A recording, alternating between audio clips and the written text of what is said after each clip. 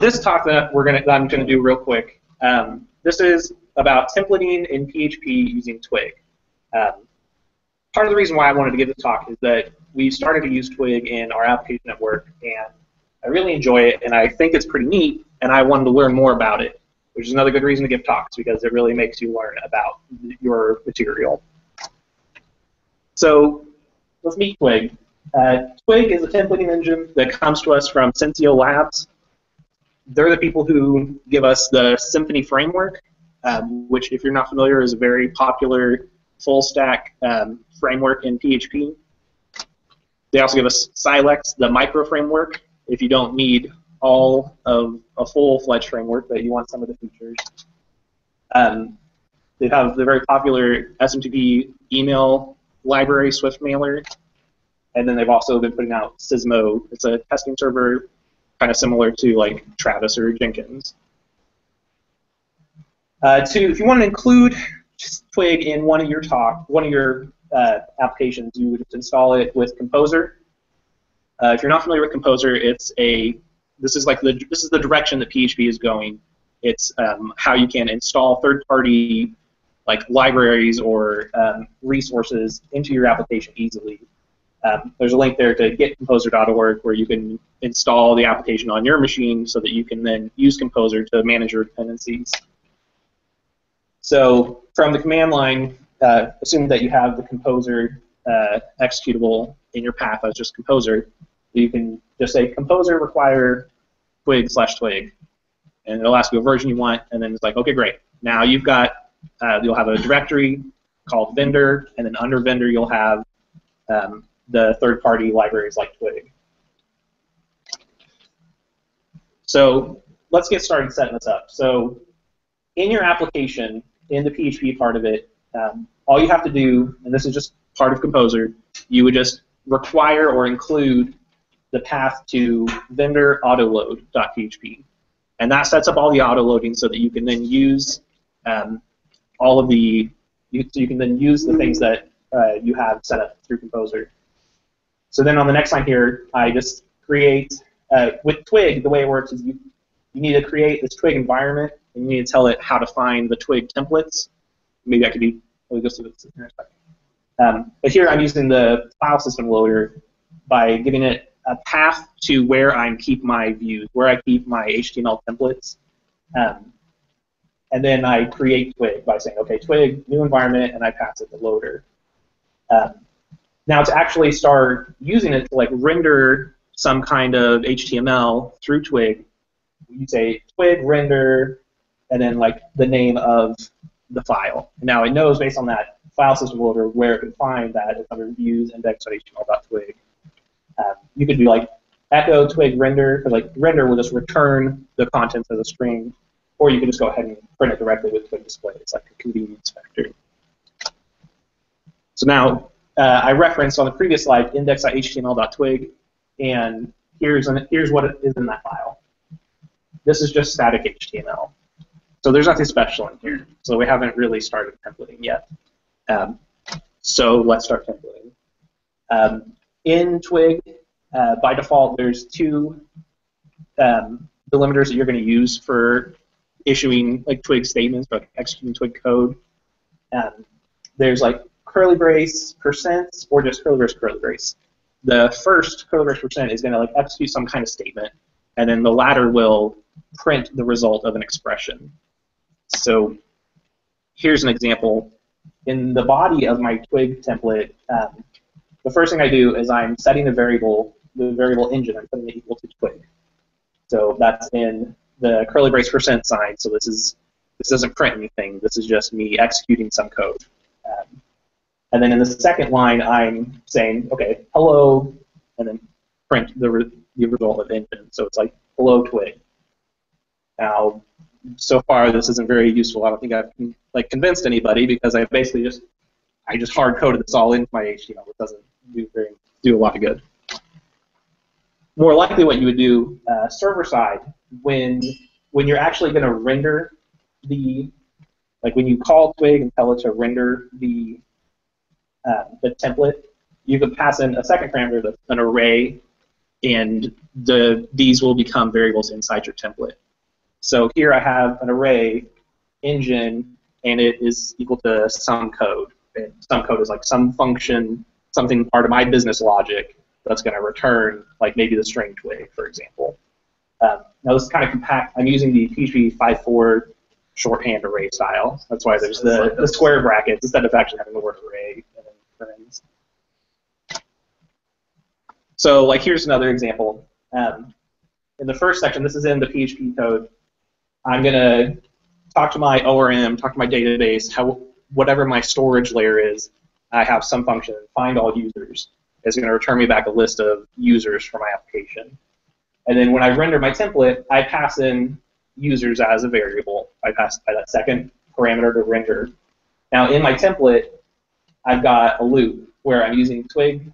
I'm using Twig code to say, okay, for user in users, we're going to have a list item that's going to have user.name is at user.location. So what this is actually going to print out, this is this is going to say like, okay, so UL, so we've got this unordered list, and then the first list item is going to say Seth is at the labor party. Another list item says Jacob is at the labor party, Ben is at the labor party. You know. Um, it's a, um, and there's other control structures. There's like you can do like if and um, other ways to loop. Now, in the twig, when we say like user.name, um, this is what I think is the preferred syntax way you can access something on that variable. What this is actually going to try, like pretty much in this order, um, if user is an array, it's going to look for an element called name. If it's an object, it's going to look for a public property called name. You can't find that, it's going to look for a method called name. If you can't find that, it'll look for a method called get name, and then it'll look for is name. And none of that is true. I mean, if user is just, if, if none of that comes out true, then it would just return null. So like you might see a lot when you have like entity objects like user, and they might have a property called name, and maybe you have getters and setters like get name and set name for every one of your things. In your template, it's really easy. It's like user.name. It's like, okay, you mean get name. Um, another thing that's nice in Twig, they have what they call filters. Um, they use this type syntax. So given the user.name is Jacob, right? So when I'm going to, everything inside these curly braces here is, uh, is this expression that I'm going to evaluate. Um, so first we say user.name, so that would be like Jacob. And then that gets piped through a filter called upper, which is going to uppercase everything. And then it gets piped through filter called reverse, which reverses everything around. So now it's like, hello, Bocage. Like, right in your face. Um, there are several built-in filters that Twig comes with um, for a lot of common things that you're gonna you might want to do inside one of your one of these views, one of these rendered files. Um, there's some like like join, for example, um, would be kind of like implode, maybe in PHP, where you've got like an array of a collection of items, and you want to maybe put them together as just like a single string separated with commas or something. Or there's like strip tags um, to like run it through some sanitation process to remove HTML tags from the content, or title with like title case something kind of like uppercase words. How would you specify Just parents? Yeah, um, yeah. So like join, for example, if I had an array, I had like a collection of users, and I wanted to print a single string that had like all their names, right? Then I could do like users type the join, and then paren quote string, and so then that's saying like we're gonna delimit these. Um, where Twig gets really cool is that you can define your own filters. So there was like, I showed you the list of built-in fil filters, but you can make your own. So at work, we have an application where uh, I need to print off a PDF, and so I've got like a list of jobs. These are like jobs that an employee might work on, and each job has a code associated with it. But I need to render that code in a barcode format, so they can scan it with a barcode gun when the employee is clocking in and clocking out. Um, so here I'm creating a filter that we're going to call barcode 128. This is, um, and so I create this filter called barcode 128, and it accepts one parameter, which would be a string, or this is like what's going to be like piped in or filtered in. Um, So the first part doesn't, I wouldn't pay too much attention. This is just me defining a path to a file like that's not going to exist. And then uh, image PNG, that's that's from PHP's the GD library for like creating images on the fly based on some data. Um, but then the, I'm going to I'm going to call my function timeips barcode 128, which knows how to take a string like maybe 1,000, like the number, and it converts it back into data that's appropriate to feed into image PNG. And what it'll do is at path, it's going to create a PNG of a barcode, right? Um, now what I'm going to do is like I use file get contents to just read the raw like bytes of that image on, off the disk. Uh, I unlink it because I don't want to leave it lying around after me. And then what my filter is actually going to return is this image tag, and it's got source data, and I'm using the data URIs. Where if you're not familiar with those, what you can do is you can you can like take the contents of an image, the actual the bytes of them, base64 encode them, and you can just render it as like image source data image PNG base64, and then a giant string of the image contents, right? So, and then the last line there where I say uh, twig add filter, that's what registers my filter as being available for users.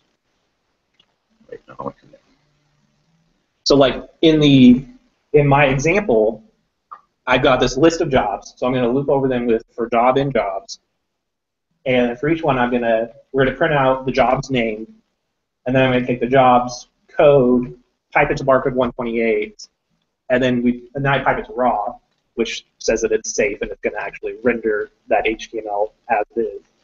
And so then the final output, I'm going to have DT and then like a job name like accounting, and then under the DD I would have an image tag that would have like the image contents in it. So the final output, like I might take this and type it through like DOM PDF or something. So then I have a PDF. This is like accounting, and there's a barcode. Marketing, and there's a barcode. Sales, and there's a barcode, and the employees can scan. Uh, now I mentioned that raw tag um, because that brings up the idea of escaping. Uh, Twig can either automatically escape variable output for you, or you could choose to disable the automatic escaping and do it by hand. So like in the previous example, we go back, what barcode 128 is going to return is actually the string, you know, bracket image source equals data image PNG, blah, blah. So like here, inside the DD tag is going to be an image tag. If I didn't pipe it through raw there at the end, um, Twig might try to escape it. And so instead of actually having a picture of a barcode in my final output, I'm going to have the text image source equals data P, image PNG, right? Um, so with escaping, um, there's a couple different kind of ideas. In the previous example, I had automatic escaping turned on. So I had to, when you filter it through raw at the end, that tells that tells Twig that it's safe. Like I know that this is going to return HTML, and that's okay. Go ahead and render it. Um, but if I didn't have automatic escaping turned on, you could pipe suspect variables through, like there's a filter called escape, or um, they have there's also a built-in one that's a shorthand for just E to escape it. Um, and by default, it uses what the um, by default it's uh, had heard uh, with the Okay, by default, it uses the HTML um, escaping strategy for what can be escaped and what couldn't for, it to be rendered appropriately. Um, the you can also pass an optional print uh, parameter like JS or HTML attribute or XML or JSON that uh, did or didn't escape somewhere else. All right. Um, you can also create uh, in Twig, you can make macros that would make things easier for you. Uh, so in the first example, this is taken pretty much straight from the Twig doc site. The we're making a macro called input that accepts a label, a name, and then value and type would be ID, would, um, you could pass it in, but if you don't, there we have default parameters. And so then what it's going to do is it's going to print out a label tag and an input tag and then in your act, so this would be like in forms.html.twig, and then in your actual um, view that you're going to render, you would say like import forms.html.twig as forms, and then when you want to call this macro, you would say forms.input, and then I guess here in this one I need two parameters, one for the label and one for the name. Um, but you would, but then you could have, you would just pass those things in, and then it would put that stuff back. Uh, there's also a lot of built-in functions. Um, these are these are these come with uh, these are they're similar to macros, um, but they're uh, there's things like range, like if you just needed a, quick array that went from like two to 100 or something. Um, and a lot of these are based on just PHP functions because what happens is that Twig gets compiled down into PHP and then um, like clean optimized PHP. You can also, and this is where it's really convenient, um, you can create layouts and then have child templates extend them. So uh, this layout is pretty much just straight what I took off of Twig's doc page. Um, but here, this, this is like base.html.twig, and you define these blocks, like at the top where it says block head, and then it says end block. So okay, so here we have a block called head. And then inside you see there's one that says like block title end block, and then there's like block for content, and then like a block for the footer. In like a child template or like in a template that would represent a specific page, you would um,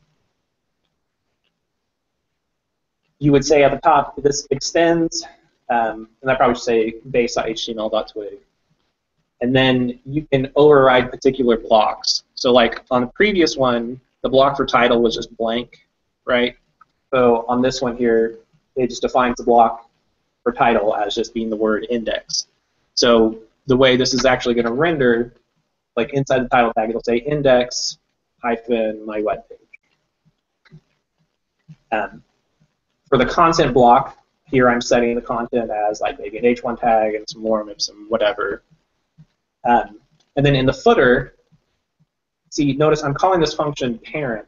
So what that's going to do is that's going to take everything that's already defined in my parent, in the parent template within this block, and it's going to include that.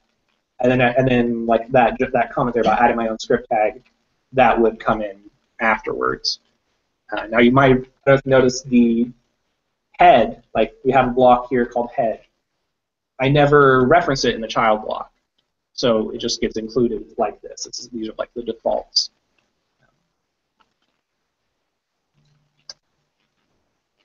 Another pretty neat feature of Twig is its uh, white space control there's a couple of different ways you can do this, um, but an easy one is that if you start with spaceless and end with in spaceless, you can format this everything, all the HTML in between those, and it doesn't really matter. So like here, like my UL, it's indented in, and then list items indented in another time, and then the link, the anchor tag is on its own line and indented in again. When this is actually rendered, it's going to render like it shows in the bottom example, where it's just like everything is all the spaces are removed between the tags. The space between like A and href isn't removed, and between my first and last name that's not removed. But all the space between tags is. So if you're worried about, you know, sending white space because it's it's a concern when you're trying to like micro optimize, um, then it's really nice. You can have you don't have to work in this horrible, ugly to read template where everything's all crammed together you just work in whatever is easy to work in, and then when it gets rendered, it'll get rendered out spaceless. Um, so like I mentioned earlier that the template, that these twig templates get compiled into PHP, and then your variables are passed through that. Um, by default, caching is disabled, but you can enable caching by when you create your Twig environment, you pass in an array of options so like if you say cache equals and then like path to a location where it can write these templated, write the comp- compiled templates, um, it can speed up performance because it doesn't have to recompile the template on every request. Now in all my examples, I use HTML, but Twig doesn't care if you're writing HTML or not. You could use Twig to make XML or JSON or anything. So like in this example, I have some little XML document called roster. So it's a list of users. You know, um, anything anything that you might want to template or output with your PHP application, you could use Twig to do that templating. and then, yeah, um, all those logos came from Sensio Lab, except for the Composer one. Um, twig.sensiolabs.org is a great website.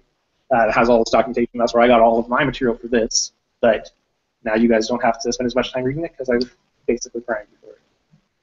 So that's uh, me. Does anybody have any, anybody wanted to ask me questions now, maybe later about Twig? If you, if you don't cache uh, Twig code, um, is there an efficiency drawback? Yeah. Yeah, um, so if you don't have caching enabled, then every time it goes to render, it has to go through the process of compiling your Twig template into a PHP template, like a simple but minimized template, but it still has to do that every time. Um, in production, you would want to make sure those are ca- those are those are cached, so you only have to do that once. What's it stored for the duration of the session? It's just stored indefinitely. Oh, it is. Yeah, Okay. so it actually caches them to disk, like it'll cache the compiled templates. So if you need to, so if you're going to make changes, then you need to make sure you clear the cache, deleting all those compiled templates out. Anything else on- I noticed your file name is like index.html.twig. Right. The final serve to the browser, does it look like HTML or does it look like PHP?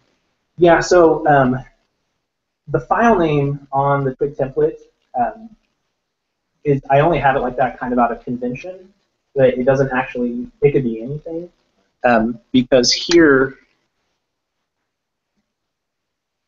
so like in this code here, this might be in like index.php.